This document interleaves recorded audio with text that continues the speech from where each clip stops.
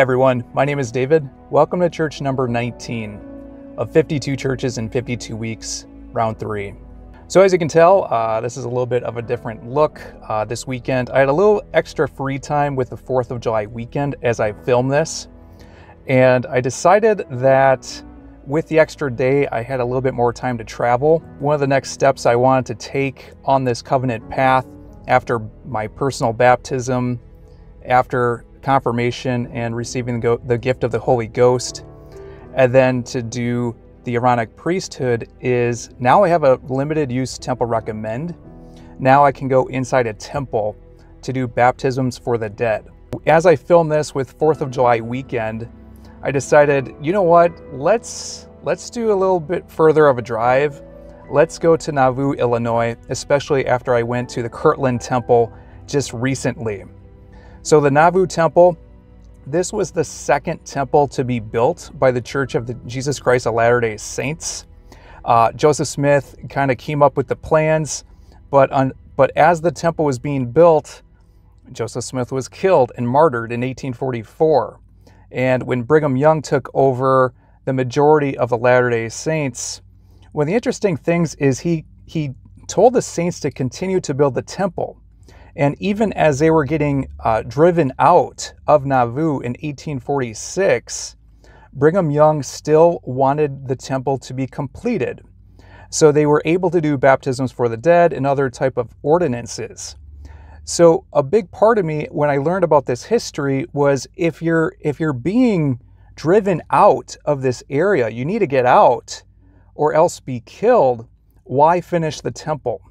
So as I have been kind of going down this new path of mine with the Church of Jesus Christ of Latter day Saints, part of me with a historical perspective, and part of me just as I con- the conversion part of me, I really want to do my baptisms for the dead at the very first time in Nauvoo.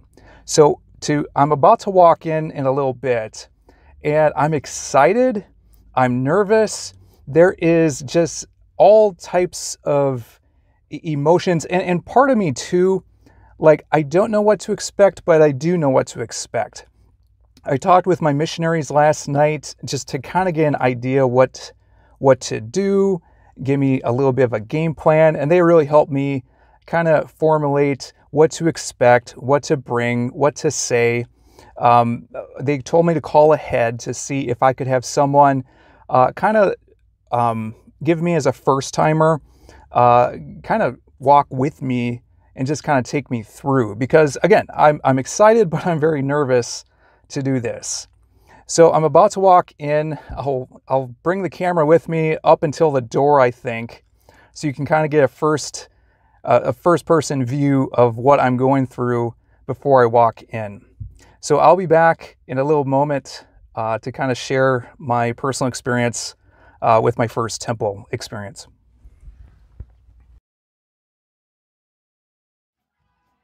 I'll give a recap what was going through my mind inside the Nauvoo temple for the first time in a little bit. Um, afterwards, I had to sit uh, with a number of thoughts that were coming at me from all kinds of different angles. Uh, it's been over a year since I made my very first temple open house visit, then as a lifelong Protestant. And like I had to review that video just to kind of remember some of the thoughts that were going through my mind because to go from then and fast forward to now, where I converted, got baptized, became a member of the Church of Jesus Christ of Latter day Saints, to see so much change ha- and happen over the course of the past year still kind of blows my mind. Um, I, I, went back and rewatched some of my thoughts from that first Temple Open House visit. And the thing that I remember most that really stuck with me was this sense of the twilight zone. Because here I was going in for the first time inside this sacred space before a dedication where the temple is usually, um, you know, reserved for its members. And like the, I wanted to have a certain sense of reverence, but because I wasn't asking anyone any questions, I was just kind of touring and just walking around I didn't really understand the full scope that the temple represented. Here's the thing though everyone around me championed what the temple was all about. That's what was really different to me. So, as I was contemplating this twilight zone, where it's like I feel like I'm walking into the twilight zone, there was a strong sense of no, maybe I'm walking out of the twilight zone as I'm going into the temple. It was such a complex and profound feeling because the world right now represents so much chaos, so much distraction. And I, I, recall from members at that time kind of explaining that the temple was this sanctuary of peace. It removed distractions. It was this place that you could focus on Christ, on Heavenly Father, and just have this serenity and this peace within yourself. And that was that was really interesting to hear. As even though I didn't get much from that first temple open house visit, um, everyone around me, again, that champion type of mentality of example, because everyone around me, it's just like there was so much focus on Jesus Christ the family, and the church. And all three of those components worked together. So to see the example outside of, you know, so many Latter-day Saints dressed in their Sunday's best on a Saturday night and just to see the the energy, the excitement and the example was something that I could not ever forget. And afterwards I just had this this feeling of holy envy, so to speak, because it was the temple was just held in such high regard.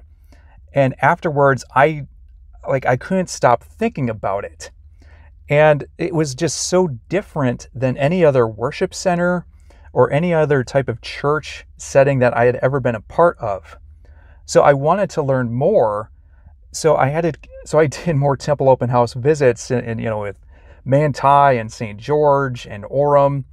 Um, I, I, there was just so many profound lessons that I was taking away from each different one that I went to.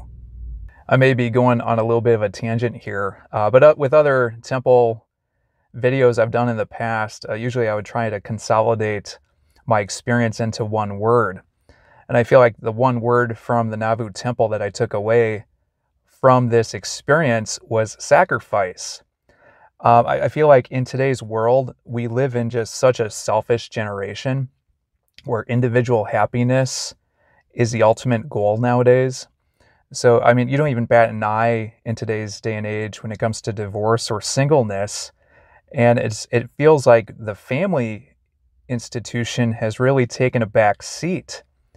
And it's the concept of marriage being elevated to an eternal marriage with eternal families, uh, as it is within the theology of the Church of Jesus Christ of Latter day Saints, still kind of blows my mind in today's world. Because, and, and the thing about that is, is to create a family, especially eternal family, like a big part of that is sacrifice. And when I made that first Temple Open House visit, and I see all these families together, all the smiles and everything that was going on, it, I think a profound type of thought I had at that time, and maybe I couldn't even express it back then or communicate it, was this the church's shared vision to build something together. The church globally would build something together for all its members, for all its families and a big part of that to do that was sacrifice. Uh, in that video, I kind of talked about some of the uh, Protestant views I had back then of temples because the LDS versus the Protestant view of temples w- was just miles apart from a theological perspective. Because when I thought of temples back in the Old Testament, uh, you know, I was kind of taking this from Adam and Eve when they sinned God has to find an animal to basically sacrifice. At that time, I kind of figured with temples, it was more of a way to sacrifice the best of what you had from an animal perspective to atone for sin. And obviously, the ultimate sacrifice was going to be Jesus Christ. So, when the atonement with Jesus Christ, when he died on the cross, resurrected and ascended, everything was set. There was no more need for any kind of temples. And Paul kind of talked about how, like, our bodies have become the temple. So, like, I never saw any reason to have it nowadays. I think over my the past year, some of the things that really started to press on me was the importance of covenants and to have and not even term it that way. I didn't even know what a covenant was uh, a year ago. I wasn't even sure on that. But I could see the, the need for a promise with Christ because otherwise, if you just keep sinning, repenting, sinning and repenting, and you don't have anything accountable for that, it, it leads to this this toxic relationship. And if like if you're dating someone or if you're married to someone and you know they just keep treating you poorly, like what's what's holding you together? Like well, your vow of marriage. So how do you not have a vow with Heavenly Father or with Jesus Christ? So that started to play with me and why the the need for restored gospel was so needed. I was listening to an interview not too long ago, and the guest brought up N.T. Wright. Uh, he's this famed biblical scholar, and I understand he's actually going to be visiting a church not too far away from me in a few weeks. So I got tickets. I'll make a future video on his work in a few months. But the guest mentioned that N.T. Wright basically said that the kingdom that Jesus preached lives within us. So, with the restored gospel, it emphasizes transforming the world that we live in right here, right now. And it just kind of got me thinking about if we are disciples of Christ to enact God's work, like we need everyone that we can possibly have help out on this. So with the temple, like it is this recentering. It is this way to preach to all the nations, this global church. And a core aspect of that, to do that, is through sacrifice. Let's get to the temple experience. So, first off, the purpose I was there was for baptisms for the dead. When I first started hearing that term, um, it just sounded so different. So, I also heard uh, especially in the past with temple open house tour guides, the, the term used proxy baptisms. So I just prefer using that term. So it wasn't a long experience. Uh, so I'll just share maybe a few steps inside, uh, but more so maybe just what was going through my mind uh, as I was taking these steps.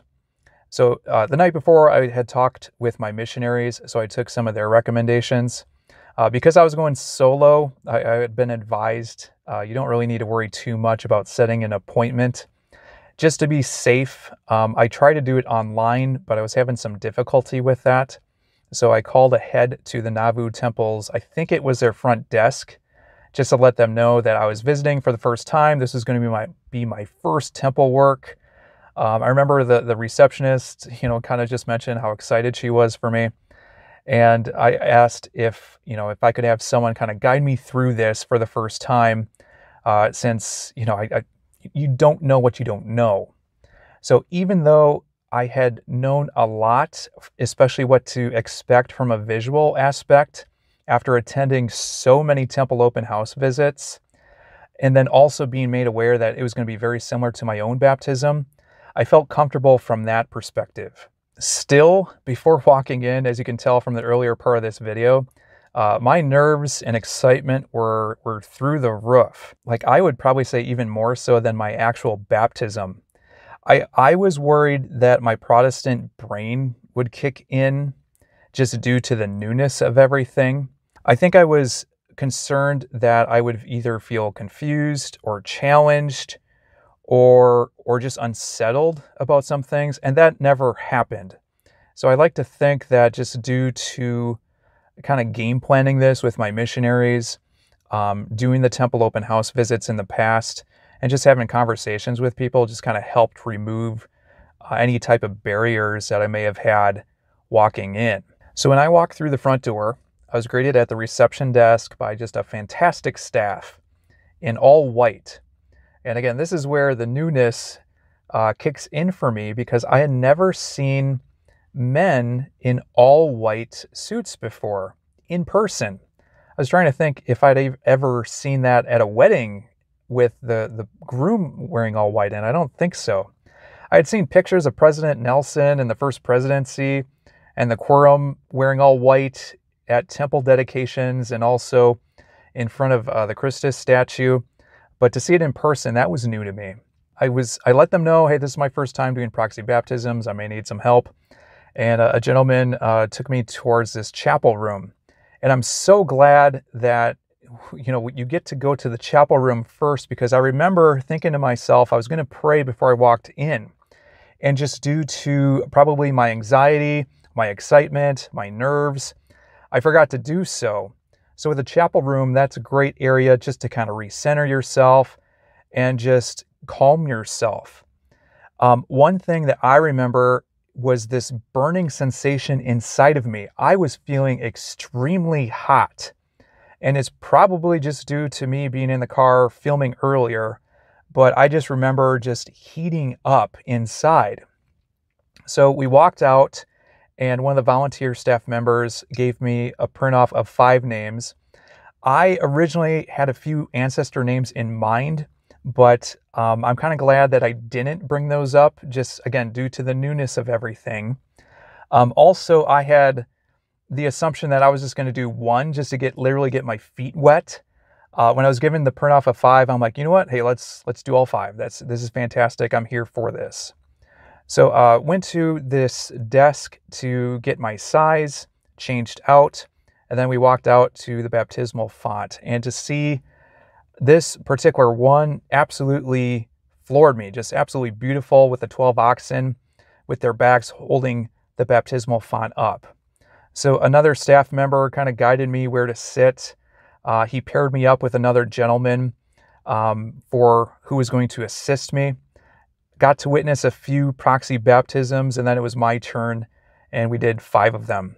So when I walked out of the baptismal font, I was given a towel and was about to change out. I think I had a lot of adrenaline going at that time, uh, especially just with the sensation of you know the water. But I remember when I walked out, um, I had two big sensations. One, that heating up, burning up sensation had completely lifted. Um, I just remember this sense of removal. And also, there was this sense of human connection because we always talk about so much about loving thy neighbor. I've never loved thy neighbor for someone quite who has passed away. Uh, that was a different experience for me, very profound. And I don't even know how to communicate that quite so much because, in a way, with the 12 oxen holding up the baptismal font, there's this sense of those that came before us who carry their own backs for even us in this generation to even be here at this time. For their backs to carry us, to give back to that was an interesting feeling. As for tips, if you're a first timer going inside a temple, I went in solo. I would not advise to do that. A friend invited me to attend the temple with him for my first time, and just due to timing, it didn't quite work out. Uh, after the Nauvoo temple visit, uh, I had a group that I went with at the Provo City Center Temple, and that was much more comfortable with people that I knew. So if you're going in solo, I would advise not to for your first time. Also, um, I had some names of ancestors that I had in mind, and I didn't bring that along. In hindsight, I'm glad that I didn't. I think for the first time, um, again, it's just it's better to focus on learning and just kind of see how everything works. And I might have been distracted and not really appreciated the significance uh, of my direct ancestors. So, if I could give any t- type of two tips, that would be mine from this visit. After this temple experience, uh, I've had to sit with and mull over a lot of thoughts. And one of the, the themes I think at the forefront of my mind as I've been doing this has just been that idea of sacrifice uh, especially to kind of take my Protestant way of thinking before with the sacrifice of Jesus Christ, where temples were no longer needed, and then to have modern temples and what sacrifice means now. Um, if I could get deep for a moment, um, and, and this is hard to admit, but at times I have felt hesitant as a recent convert to attend the temple. And part of that is just due to the distance. Uh, but I think for myself, and again, this has nothing to do with the church or the members who've been absolutely amazing and just the outpouring of support and love. I can't say enough good things. I think for me, it's like I like I had plans for this year and I've just had a number of setbacks um, to give me some feelings of I'm not good enough. And it's it's strange just how the the mind works and the outside distractions and chaos can impact your own spiritual life. And as a result, like I have felt that is trying to attack my conversion process through the temple. So as a result, it's like like when it comes to the temple, there's those feelings of inadequacy where it's like I'm not good enough, I don't know enough, I'm not ready enough, I'm not prepared enough. And as a result, like I, I, can feel inadequate and stuck in a lot of ways. And if you're watching this video, maybe you feel the same way. Maybe there's things going on in your own life where you feel stuck or things just aren't going the way that you had planned. And even as I say all this, I know it's the mind working tricks. I know it's just doubts. And it's frustrating for me to even entertain these thoughts where the mind is chipping away at your confidence. Even when I did that video uh, attending the sacred grove and I see a, a, red cardinal bird, my, you know, my calling card, so to speak, um, during this spiritual process at Hill Cumorah, and then this internal shout in the sacred grove of stop doubting, the fact that this still remains uh, can be frustrating.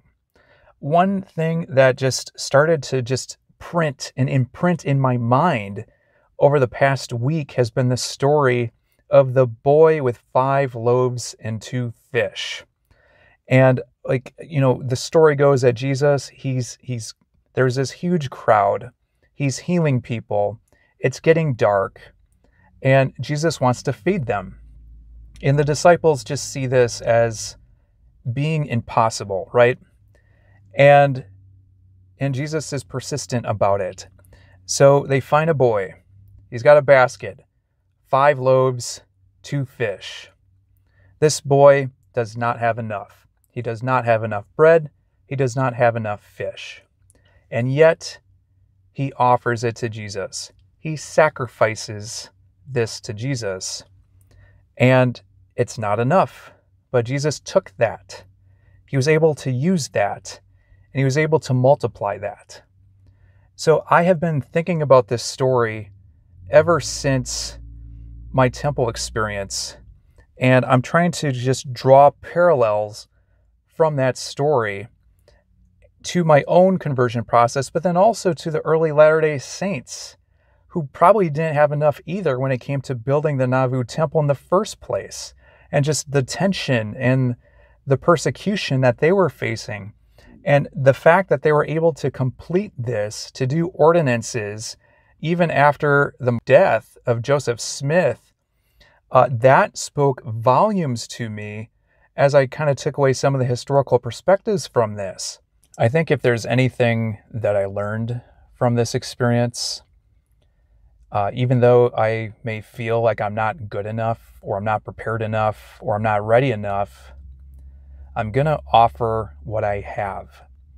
And whether that's knowledge or understanding or grace or humility or five loaves of bread and two fish, whatever it is, whatever sacrifice that you offer, He can use that and He can multiply that